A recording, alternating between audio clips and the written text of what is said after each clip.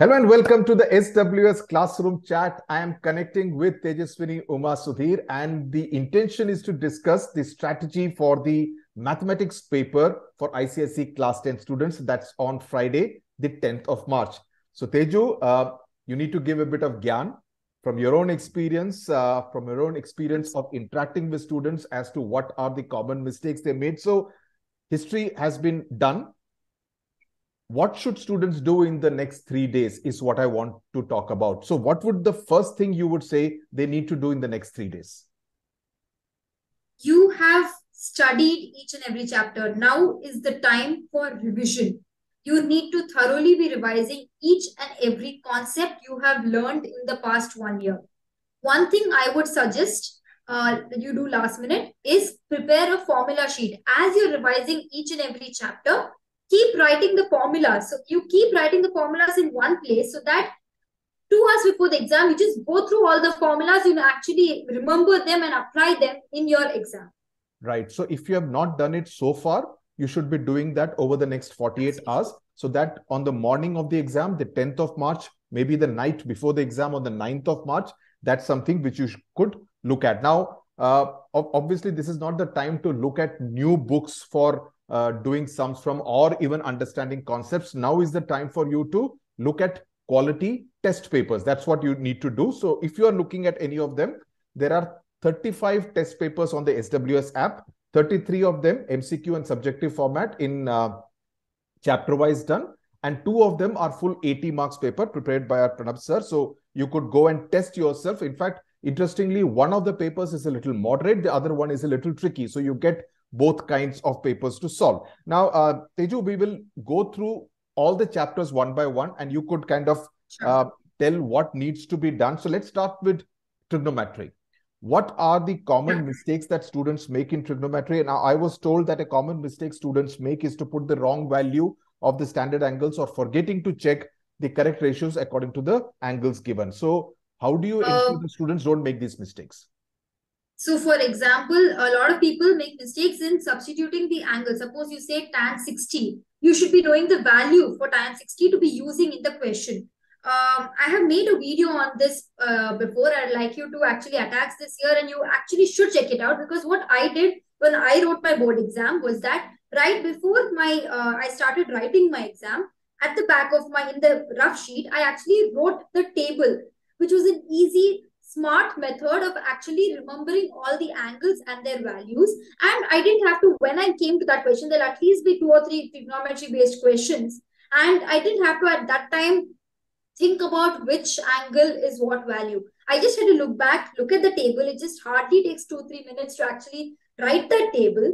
And you just look back, see the value and substitute it properly in your answer. So I think that's the trick as far as trigonometry is concerned. Another thing, concept which comes in trigonometry is heights and distances. Yep. This is a word problem based question which uh, comes based on trigonometry. And uh, the trick here, sir, is to actually uh, draw the diagram correctly. Uh, look at each and every sentence in the word problem and underline them. You're allowed to underline and draw it as it is in your answer script only if you get your diagram right will you be able to actually solve the question. Solving is very easy in a heights and distances question. The trick is only to do the diagram properly. Okay, fine. So that's as far as trigonometry along with heights and distances. Let's now move to geometry. Now the diagram obviously must be copied correctly to start with. What else apart from that?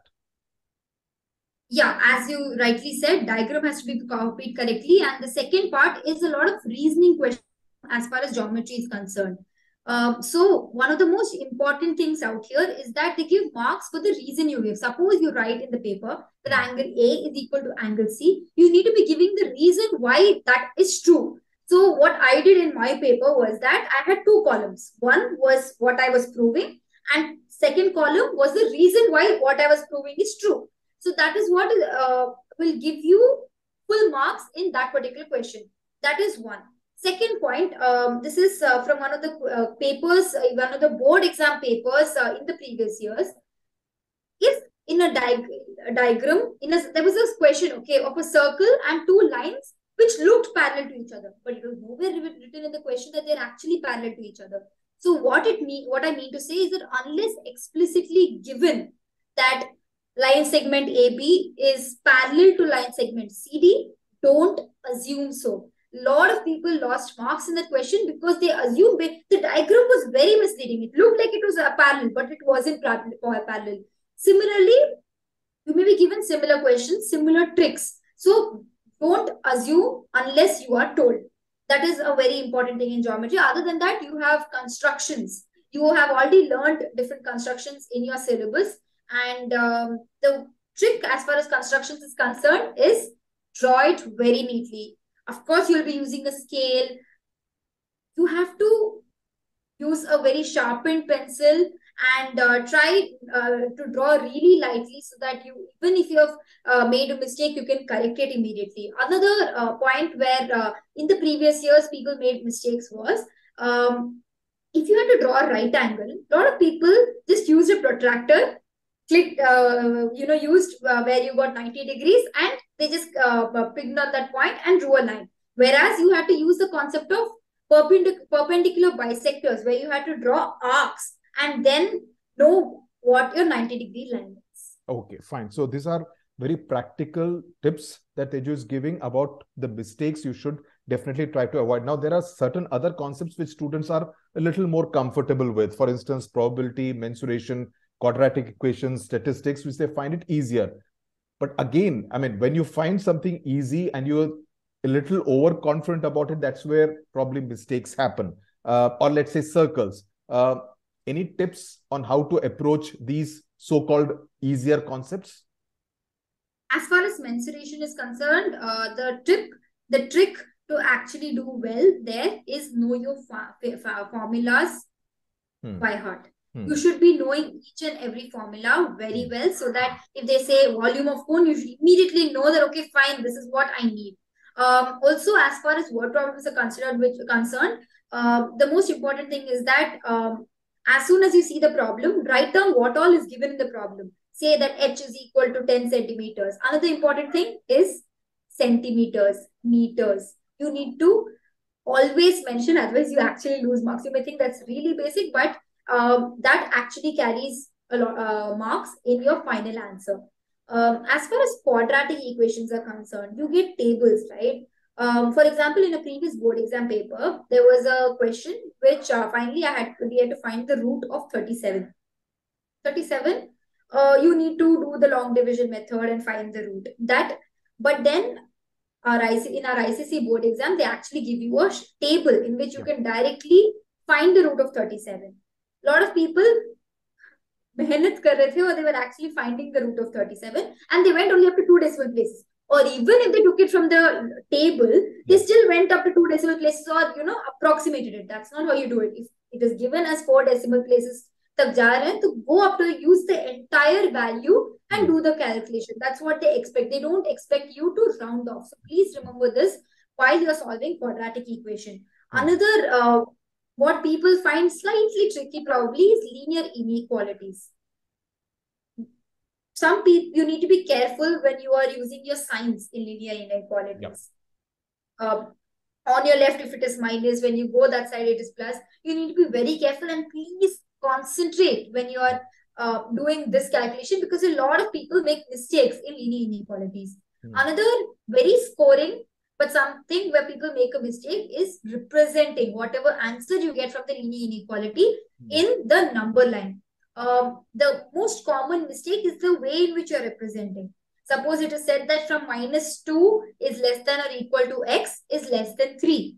You need to be representing it properly in the number line. Also, ये नहीं कि minus 2 से 3 से है वो range. So you don't put any values from beyond minus 2 that is minus 3, minus 4 and you don't put any values in the positives as well. You hmm. need to maintain that consistency to show that the gap between you need to at least दो तीन number इस तरफ और दो तीन number उस तरफ you need to write so that it looks like a proper valid number line hmm. okay so uh, uh, when we are looking at the different chapters i mean broadly the seven broad uh, units that are there in the syllabus uh, do you suggest starting with something immediately uh, and doing some others uh, in the second half, uh, maybe on the 8th of March? Or it depends from student to student. Some students may be good in geometry, not so good in algebra, or the other way around. Does it depend from student to student? It depends from student to student. It depends on what's your strong point, what's your weak point. But I would say, like uh, when I was writing my board exam in 2019, um, some chapters like uh, GST, banking, shares and dividend, those three chapters are really scoring chapters, very easy chapters. I think in the entire syllabus, I would uh, say that section is very easy. Again, if you go that side to probability statistics, it's simple. So I would suggest um, uh, you first start with these chapters because they're very scoring hmm. and then go on to um, relatively more tricky concepts like um, quadratic equations, linear uh, inequalities, and chapters like that. And similarly, you can actually बहुत आराम से आप syllabus complete कर सकते हो. Hmm. Do a lot of this is the time for you to test yourself, and if you don't know, revise those concepts. Yeah. You need to, unless you test yourself, you don't, you won't never know what you're weak in. Instead yep. of just going through the formulas again and again test yourself देखो कि क्या आप वो concept को apply कर पा रहे हो अगर नहीं कर पा रहे हो तो you go back and study the I think that should be the method you should adopt um, when you are uh, studying for your maths exam right before the board exam. Yeah. Uh, now, as far as the uh, actual implementation of all this in the examination on the 10th of March is concerned, one important point that they need to remember is that they should do the rough work on the same page so that uh, not on the back page because sometimes when you do it on the back page there the value may be something but in your worry anxiety tension you may copy uh, a different thing because something else may be going on in your mind so it's always preferable to do the rough work on the same page right that yes, always and keep your rough work really neat बहुत ज्यादा काटना it should not be messy because that yeah. you know it, it, it does not um, you don't make a very great impression on the examiner if you're, you know, very, very messy with your upper. Keep it neat. Yeah. And another thing, in your in your first 15 minutes um, in your exam, select which questions you're going to be doing in section B. Yeah. Because that's very useful Correct. because it, it uh, you finish your section A yeah. and then you can very peacefully do the selected questions in section B. Yeah. So the big difference between when you uh, took your exam and now is that there are these MCQs which are in section A. There is no choice in section A, while you have to do four out of five. Now, MCQs, obviously, you don't have to show the steps process. So you can adopt shortcuts uh, and arrive at the solution. Whereas in section B, I mean, in the other uh, non-MCQ format, you need to show the steps. Does it necessitate a slightly different way of preparing for MCQ and the non-MCQ questions? No, because uh, see uh, i would say that there's not so much of a difference uh, between how you solve an mcq based question and some and a uh, you know three mark question yeah. non mcq based question. Because uh, at the end of the day it's not like mcq based question ho to ek step mein answer aa jayega the questions they give you are actually questions which are probably relatively simpler but you need to solve. See uh, you when you skip steps, right? Steps are not necessary so that you get step marks in, in case your end answer is wrong. Hmm. It is so that you don't make mistakes anywhere. Because uh, when you're trying to make too many mind calculations, right? You tend to make mistakes. When you have so much of time, I would suggest you do you write the steps. You don't lose anything by writing steps. Hmm. Of course, MCQ based questions take less time to solve. Hmm. So you don't need to be writing very reasons that मैंने ये किया इसीलिए किया of course in an mcq based question but you don't need to skip steps is what i yeah. personally so, feel I mean, what, why yeah, do you so want what, to make it yeah so just to clarify what teju is saying is that when she says write the steps she doesn't mean that in mcq you need to explain the steps she says you could do that on your rough uh, part page part of the work uh, of your answer script do it there and so that you are 200% sure that you have arrived at the correct solution yes if you are very fast with shortcuts maybe you could implement that and cross check it with the steps also but the whole idea is yes. to score an 80 on 80. In the MCQ, you still Absolutely. need to write only the correct option and whatever is the answer there. You're not expected to show the steps in MCQs.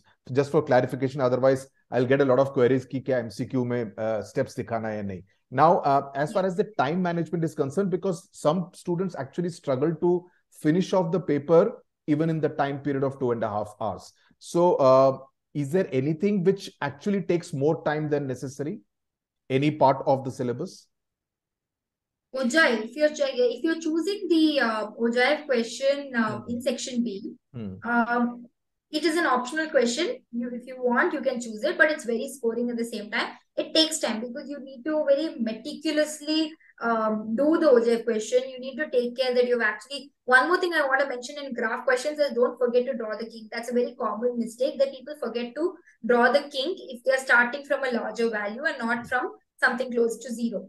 And um, in an ogive question, you need to be um, drawing the curve in one go. You don't, you should not, you know, essay, fit, essay. You should not be doing that. You should be drawing it in one curve and it takes time because you probably need time to actually figure out on how the curve should be going and uh, stuff like that. That's one thing which takes time. Um, if you don't know the proofs very well, it may take time. One more thing uh, I want to mention is, for example, in proofs on componendo and dividendo, dividendo, for example, Hmm. a lot of people, uh, just because it's a proof, proof question, actually, uh, even if they don't know the steps of the proof, write the end result. Therefore, it is proved that this is equal to this, so I got the answer. But your examiners do look at the steps. So um, don't try to fool your examiner by actually skipping um, steps and try writing because just because you know the answer because it's a proof.